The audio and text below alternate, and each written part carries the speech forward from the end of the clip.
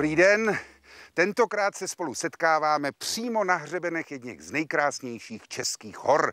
Jmenují se Jizerské. No a je to poprvé a zřejmě i naposledy v tomto pořadu, kdy jsem vsedl na jízdní kolo. Je to zejména proto, že speciálně Jizerské hory jsou velice vhodným a vyhledávaným cílem právě cykloturistů i díky svým velmi povlovným terénům.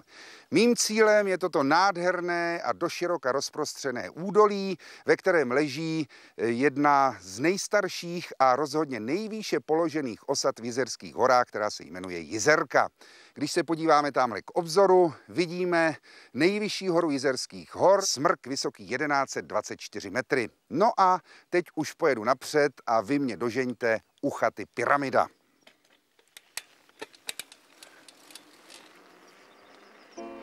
První písemné zmínky o osadě Jizerka pocházejí ze 16. století, kdy přicházeli do pralesů na jizerské náhorní plošině hledači drahých kamenů.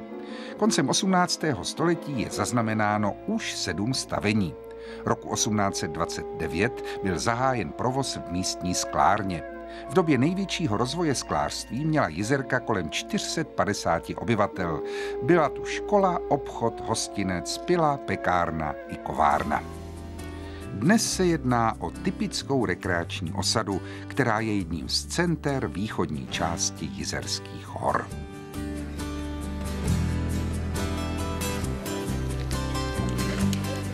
Příjemný podvečer, dobrý muži. Dobrý může večer, se... pane Čechu. Dobrý večer, eh, tedy podvečer. Může se u vás znavený poutník občerstvit, najíst a trošku spočinout. Vítejte na pyramidě, pochopitelně, to, toho jsme tady. Aha, no ale poslyšte, pyramida. Člověk si vyrazí do jizerských hor a teď má pocit, že trošku moc šlápl do pedálu a ocitl se v Egyptě. Kde se to tady vzalo? No i na Jizerce máme pyramidu. Kdo ji přesně postavil, nevíme. Je o tom existuje několik verzí, proč to je, vlastně to je vznikla. ten obelisk, to je tento obelisk, Aha. kterému místní říkají pyramida. Podle jedné verze byl postaven na počest zahájení provozu v rýdlových sklárnách. Tamhle máme základy Aha. první sklárny, druhá sklárna je za panským domem, ta ještě stojí. Druhá verze je, že byl postaven na počest návštěvy hraběte Klamek Klama Galase na Jizerce, tomu to tady všechno patřilo. Víte co, budeme si povídat o chatě Pyramida. Takže jak tady vznikla, od kdy tady stojí a co byla původně a co je dnes? Tak chata Pyramida je vlastně chat, hostinec u, u pyramidy. První Aha. byla ta kamenná pyramida, potom vznikla pyramida dřevěná. Původně byla brusírnou skla. Když tady byla sklárna, tak se ve sklárně se tahaly mm, skleněné tyče, z nich se maskali skleněné perle a ty skleněné perle, z nich se brousily skleněné kameny tady mm-hmm. v Brusírně je u potoka, v potoce bylo vodní kolo, No a tak to začalo. Nicméně Kuncovi, kteří v druhé polovině 19. století na pyramidě žili, přišli brzo na to, že skláři mají žízeň. Takže od té doby je to hospoda. Od té doby je to hospoda, byly tady hostinské pokoje, hostinská živnost zkvétala a v roce 1927 byl přistavěn tento sál. Mm-hmm. Pojďme dovnitř. A protože pivo si neoblíbili jenom skláři, ale s rozvojem turistiky přicházelo do Jizerských hor čím dál tím víc turistů, rozhodli se majitelé původní domek přestavět do dnešních rozměrů. Největšího věhlasu dosáhla v minulosti pyramida za poslední poválečné majitelky paní Kakrdové, rozré Kuncové, která byla široko daleko vyhlášena pro svou milou povahu a báječné kuchařské umění. Jsme uvnitř chaty Pyramida na Jizerce. V původní chalupě byla brusírna skla. Jedni z majitelů tohoto objektu, což byla rodina Kuncova, tady víceméně na zkoušku zřídili restauraci. No a zjistili, že prodej piva, nápojů a jídel je rozhodně výnosnější a v každém případě méně namáhavý než broušení skla a tak už tady restaurace zůstala. Majitelé rozšířili celý objekt o tuto opravdu velkorysou přístavbu, ve které je i největší sál široko daleko. Samozřejmě i chata Pyramida prošla různými fázemi svého vývoje. Já jsem zachytil dvě z nich. V polovině 80. let tady byla sice malebná, ale e, spíše závodní jídelnu připomínající restaurace. V roce 2000 zhruba v těchto místech stál pingpongový stůl a byla tady restaurace, řekl bych, spíše drsnějšího ražení. Teprve současní majitelé provedli opravdu velkolepou a velkorysou přestavbu celého objektu a odkryli i několik zajímavostí. Jednou z nich je tento vyvýšený výklenek, ve kterém sedávali kdysi muzikanti. V době budování socialismu byl tento výklenek zazděn a bylo v něm zřízeno WC. Další zajímavostí, eh, kterou můžeme vidět v prvním patře, je jedna stěna, na které se dá dokumentovat, jak původní chudí obyvatelé šetřili penězi. Cihly byly tehdy drahé, tak místo nich použili dřevěné špalíky, které obezdívali maltou. No a poslední zajímavostí je jeden pokoj, který se víceméně pracovně nazývá hvězdárna. Je v něm věžička, do které když strčíte hlavu, tak se můžete rozlížet na všechny strany.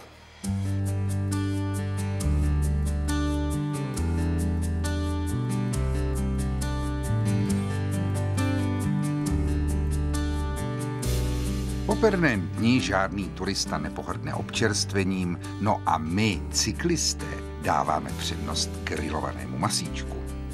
No a to je samozřejmě potřeba zalít i dobrým pivíčkem.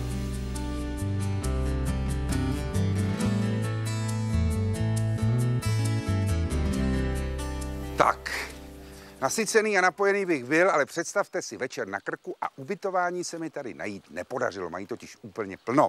Doporučili mi ovšem sousední hotel Panský dům, kde prý nějaké ubytování mají. Eh, kdyby se mi náhodou nic sehnat nepodařilo, nemějte o mě starost, protože v těchto místech jsem už několikrát spal pod čirákem, takže si určitě poradím.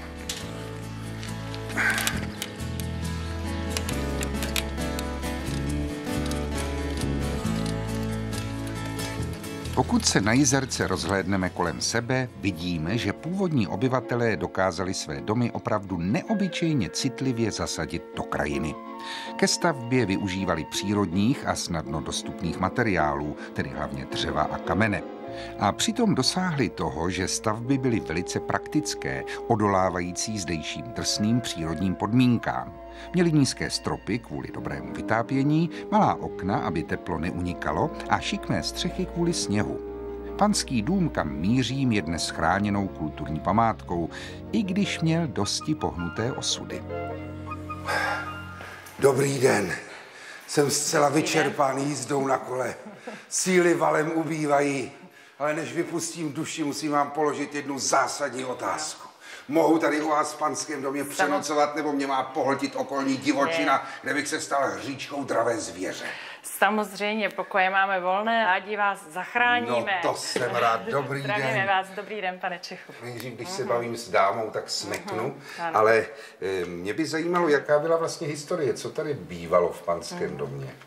Tak panský dům eh, v roce 1829 eh, postavil známý sklář Franz Anton Riedl uh-huh. jako správní a panský dům ke své první skládně na Jizerce. A dům potom sloužil sklářské výrobě. Takový největší rozmach sklářské výroby byl na Jizerce asi kolem roku 1860 a později, kdy pracovali zároveň dvě sklárny na jednou. Uh-huh. A zase na začátku 20. století eh, se zdálo výhodnější používat na výrobu skla uhlí místo dříví, takže se potom výroba přesunula do údolí a sklárny utichly, přestala v nich výroba a dům začal sloužit jiným účelům. Sloužil skoro celé 20. století jako turistický dům a dům potom osiřel a byl skutečně asi 17 let opuštěný. A, 17 let na horách v drsném to prostředí to s domem zamává docela. To s domem že? opravdu zamává. Tak tady uh, okenice tloukly a skučel vítr. Že tady strašilo, dá se Vlastně tady strašilo, myslím, že tady přespávali i náhodní pocestní. Takže mi dejte klíč mm. a dneska tady budu strašit já.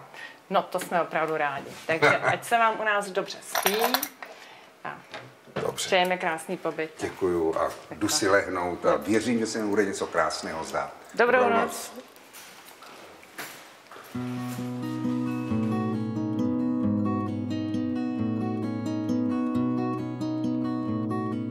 A řeknu vám, takový nocleh na horách, kdy vám pod okny zurčí průzračný potok, to je hotový balzám na nervy.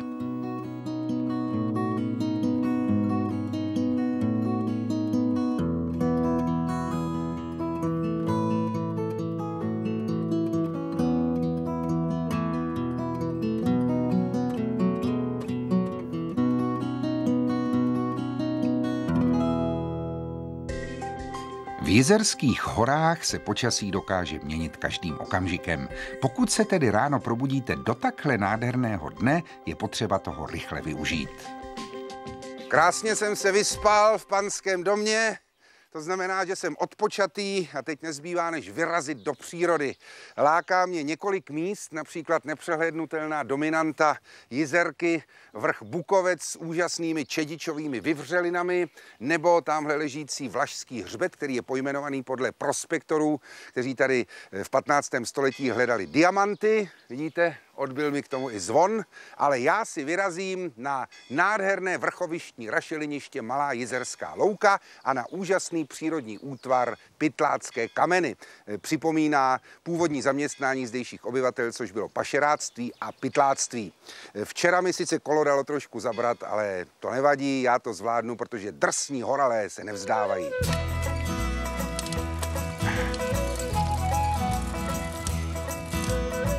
Na výlet, v létě pěší nebo na kole a v zimě na běžkách si odsud můžete vyrazit i pod Bukovec k soutoku říček Jizery a Jizerky. Tady byl v červenci 2005 po 60 letech znovu otevřen pěší přechod do Polska. Přes něj se dostanete do kilometr vzdálené osady Orle s rázovitou hospodou nebo na krásnou velkou jizerskou louku, kde se nalézá ještě rázovitější chata Gořistův. Já ale jedu opačným směrem.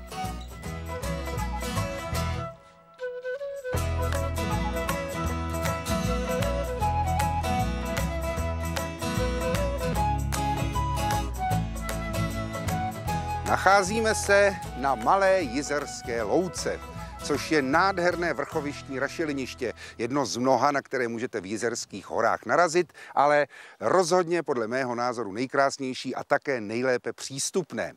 Mocnost rašeliny zde je 6 metrů, to znamená, pokud jste viděli film Král Šumavy, dalo by se tady stejným způsobem zmizet beze stopy.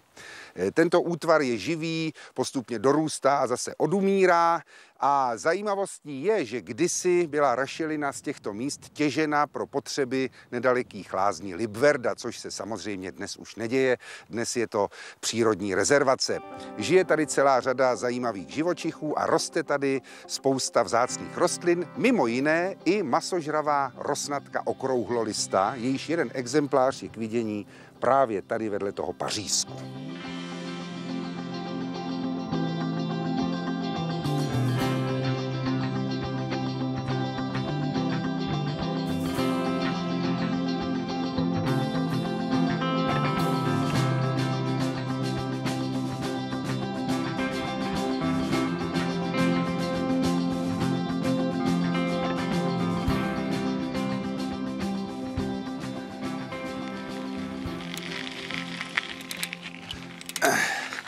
Zastavil jsem se na místě, ke kterému se váže velice zajímavý, i když trošičku chmurný příběh.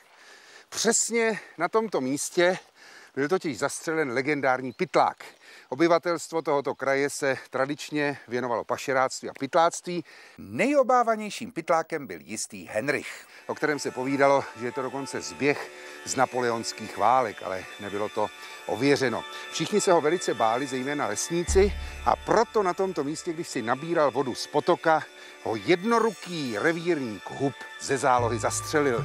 Henrich ovšem nezemřel tady, ale doplazil se asi o kilometr dál, kde byl nalezen mrtvý, na tom místě byl zahrabán a na památku této události tam byl vstyčen kříž.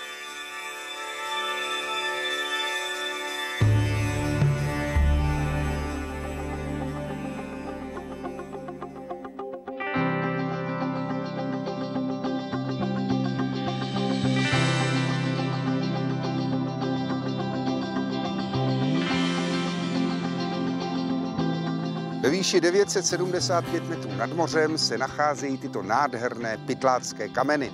Jsou nazvány právě podle už zmíněného pytláka Henricha, který někde tady měl jednoduchou chatrč z kůry a listí, ve které se v letních měsících ukrýval. Na zimu scházel do údolí k lidským příbytkům. Pytlácké kameny jsou každopádně natolik mimořádný přírodní útvar, že stojí za to si je prohlédnout a trochu proskoumat.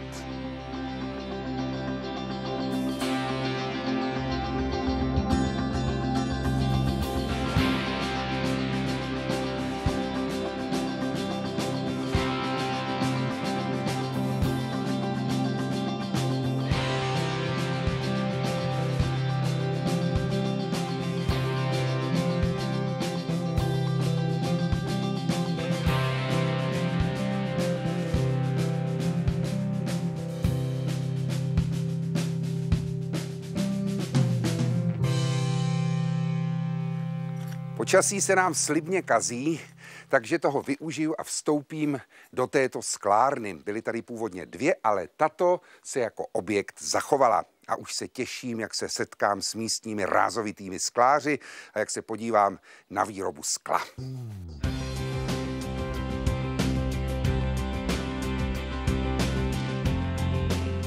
Jaké však bylo mé překvapení, když jsem místo do sklárny vešel do tělocvičny a místo sklářů tam uviděl horolezce, volejbalisty a jiné sportovce. Chvíli jsem nevěřícně koukal s otevřenou pusou, ale pak jsem se k ním přidal. Nejsem totiž jenom drsný horal, ale v mládí jsem hrál docela obstojně basketbal. Konec konců, jaký jiný sport jsem si při své výšce bez mála dvou metrů měl vybrat, že ano? Ale že mi to pořád ještě jde, co říkáte?